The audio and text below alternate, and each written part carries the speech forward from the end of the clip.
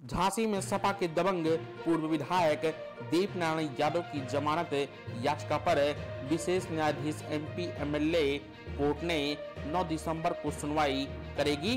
पूर्व विधायक की ओर से विशेष न्यायाधीश के समक्ष यह पहली जमानत याचिका है।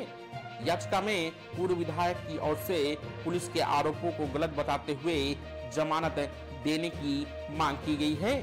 वहीं इसके पहले निचली अदालतों में इसी मामले में पूर्व विधायक दीप नारायण यादव के साथ जेल में बंद आरोपी भी जमानत याचिकाएँ दाखिल कर चुके थे, लेकिन उनकी जमानत याचिकाएँ कोर्ट ने मंजूर नहीं की।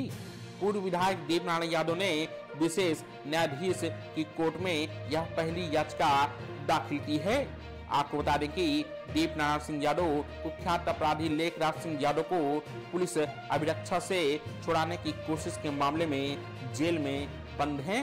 अगर आपने अभी तक हमारे चैनल को सब्सक्राइब नहीं किया है तो चैनल को सब्सक्राइब कर लें, बेल बटन ज़रूर दबाएँ।